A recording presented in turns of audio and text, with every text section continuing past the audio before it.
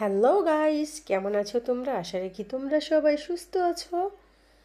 আর তোমাদের সুস্থতা কামনা করে আমি তোমাদের সাথে একদম ইয়ামি অ্যান্ড নতুন একটা রেসিপি শেয়ার করতে যাচ্ছি।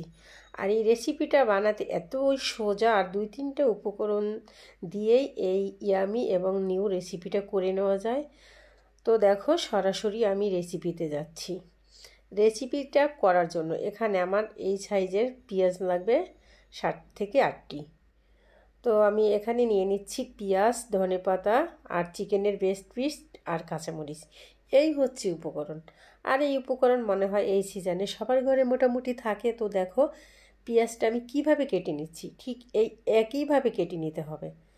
একটু সুন্দর করে দেখতে হবে যে পেঁয়াজটা আমি কীভাবে কেটে নিচ্ছি, কীভাবে মানে মুখে একটু বেশি কেটে নিব, পিছনে একটু বেশি কেটে নিব, তারপরে সুন্দর করে একটু ছিলে মাঝখানে কিন্তু একটু কেটে নেব। তো একটু সুন্দর করে দেখতে হবে রেসিপিটা করার জন্য যে পেঁয়াজটা আমি কীভাবে করে নিচ্ছি। তো এই একই প্রসেসে সব পেঁয়াজ করে নিব।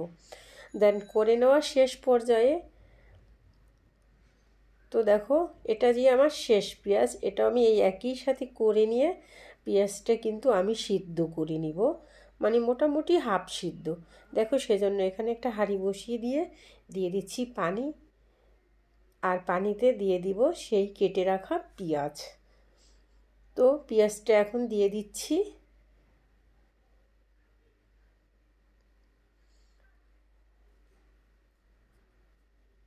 তো পেঁয়াজটা দিয়ে পরবর্তী স্টেপে যাব। আমি সিদ্ধ হতে দিয়ে পরবর্তী স্টেপ হচ্ছে, এখানে আমি ধনে পাতা নিব। ধনে পাতাটা কুচি করে নিচ্ছি। আর নিব কাঁচামরিচ। কাঁচামরিচটা একটু সুন্দর করে কেটে নিব। তো দেখো আমি কেটে নিচ্ছি। আর এই রেসিপিটা একদম নিউ রেসিপিটা যদি তোমাদের পছন্দ হয়, অবশ্যই চ্যানেলটা সাবস্ক্রাইব করে পাশে থেকো। কমেন্টসে জানাইও কেমন হয়েছে। এখন এখানে আমি তিন কোয়া রসুন নিয়ে নিচ্ছি আর ছোট্ট এক টুকরা আদা, সেটাও গ্রেট করে নিয়ে নিচ্ছি। তো দেখো একদম মানে কেটে কুটে গ্রেট করে করে নেওয়া একদম শেষ। এখন আমি একটা প্লেটে উঠিয়ে নিব সব উপকরণ। ধনে পাতা উঠিয়ে নিচ্ছি। গ্রেট করা আদা, রসুন, তারপরে কাঁচামরিচ। এই সাইডে আমার পেঁয়াজটাও একদম হয়ে গিয়েছে। আমি যে পর্যায়ে করতে চাই, সেই পর্যায়ে হয়ে গিয়েছে। এখন আমি উঠিয়ে নিয়ে ঠান্ডা হতে রেখে দিব। তো ঠান্ডা হতে দিয়ে আমি পরবর্তী স্টেপে যাব। দেখো, ঠান্ডা হতে রেখে দিয়ে পরবর্তী স্টেপ। আগে দেখিয়েছি, চিকেনের একটা বেস্ট পিস লাগবে। তো এখানে আমি মানে পুতা দিয়ে বাংলার বাড়ি দিয়ে এটাকে থেতো বেতো করে নেব। তোমরা যদি চাও এটা মিক্সিং জারে নিয়ে পেস্ট করে নিতে পারো, বাট আমার পেস্ট মাংস একদম পছন্দ না। তো আমি একটু পুতা দিয়ে ছেঁচে থেতো বেতো করে নিচ্ছি, দেখো কীভাবে করে নিচ্ছি। তো করে নেওয়া শেষ, এখন আমি উঠিয়ে নেব একটা মাজারো সাইজের বাটিতে। উঠিয়ে নিয়ে একে একে যে আমি কেটে রেখেছি, সেই দিয়ে দেবো, পেঁয়াজ কুচি দিয়ে দিচ্ছি। তারপরে এখানে দিব ধনে পাতা কুচি আর কাঁচামরিচ কুচিটাও। আর ওই যে সেই গ্রেট করা আদা আর রসুন দিয়ে দিচ্ছি। লাল মরিচের গুঁড়ো একটু বুঝে দিতে হয়। আমরা ঝালটা খেতে পছন্দ করি না, দিয়ে দিচ্ছি গোলমরিচের গুঁড়ো। লাল মরিচ গুঁড়ো এক চামচ দিয়েছি। আর এখানে তিন চামচ বেডগাম দিয়ে দিচ্ছি। আই মিন টোস্টের গুঁড়া। দিয়ে দিচ্ছি লবণ স্বাদ মতো, আর এখানে দিয়ে দিচ্ছি দুই চামচ টমেটো সস। সসটাও সবার ঘরে মোটামুটি থাকে।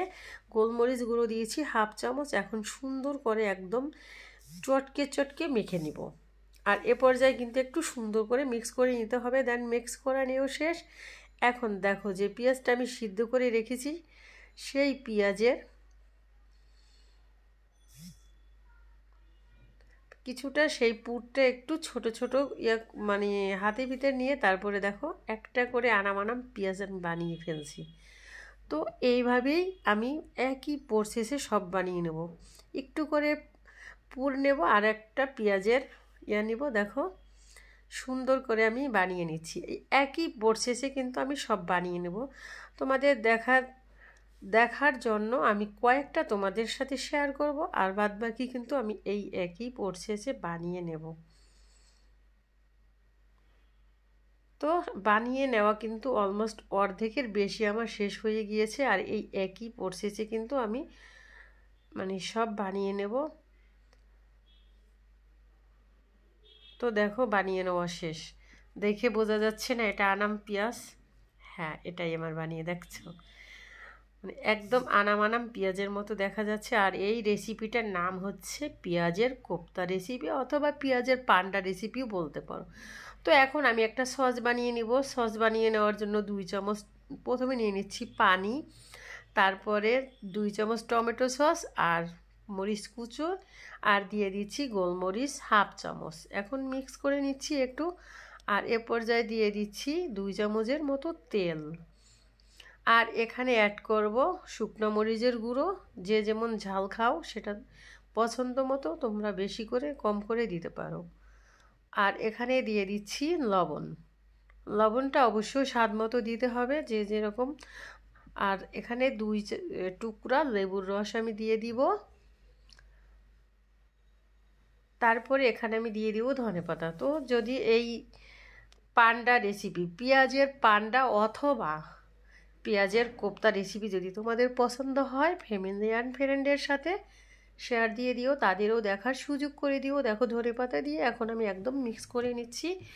দেন এ পর্যায়ে আমি চলে যাব একদম সরাসরি রাঁধতে মানে রান্না করতে। দেখো এখানে বসিয়ে দিয়েছি একটা হাঁড়ি, আর হাঁড়িতে একদম সুন্দর করে আমি যে পেঁয়াজ মানে পেঁয়াজের পান্ডা বানিয়েছি, সেট করে দিয়ে দিচ্ছি।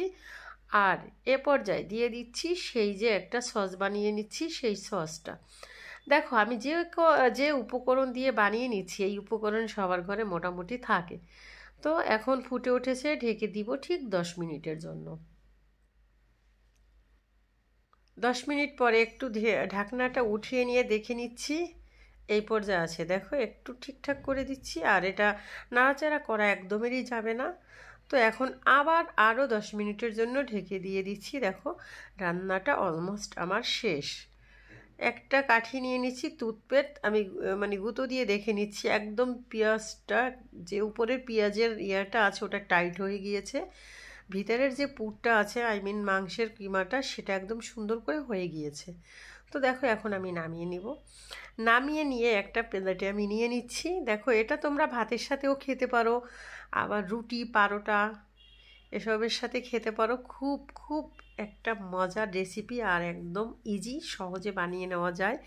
তো রেসিপিটা যদি পছন্দ হয় ফ্যামিলি অ্যান্ড ফ্রেন্ডের সাথে শেয়ার দিয়ে দিও, তাদেরও দেখার সুযোগ করে দিও। দেখো, এখন আমি দুইটা নিয়ে নিচ্ছি, একটা ফ্রিজে এখন খেয়ে নিচ্ছি। দেখো, কতটা ইয়ামি ভিতরে। মানে এটা জাস্ট তোমরা যদি ট্রাই না করো, বুঝতে পারবে না।